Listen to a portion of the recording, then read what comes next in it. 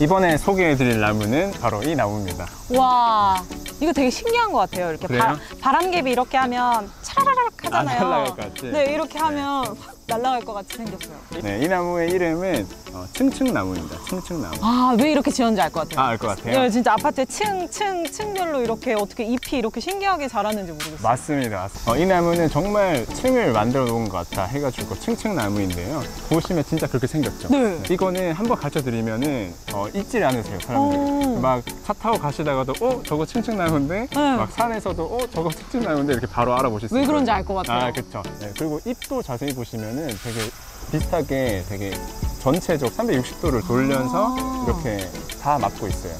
이 층층 나무는 그 숲해설가 분들이 말씀하실 때는 혼자서 막 모든 어, 햇빛을 다 가지고 간다고 해가지고 욕심이 많은 나무다. 아 그럴 수 있겠네요. 네, 그렇게 말씀하시기도 하고 폭군 나무다. 막 왜요? 혼자서 여기 다 이 지역을 다 먹으니까 막 폭군 나무다 이렇게 부르기도 하거든요.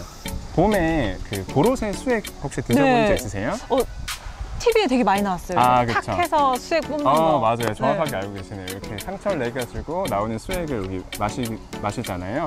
이 층층나무도 그 수액을 주는 나무 중에 하나예요. 어, 이렇게 얇은데 수액이 그렇게 많이 아, 나오나요? 이제 나중에 점점 커지면은 어, 수액이 나오, 많이 나오는 아. 나무입니다. 또 여기 꽃이 피면은 그 꿀벌들 있잖아요. 벌들한테 또 꿀을 주기도 하는 밀원 식물이기도 해요. 네, 그래서 뭔가 폭군이다, 막 욕심 많은 나무다라고 불리기도 하지만 어떻게 보면 우리한테 수액도 주고 또 꿀도. 네, 꿀도 주고 그래서 좀, 어, 좀 착한 나무의 그런 모습도 있다 라는 걸 알 수 있습니다.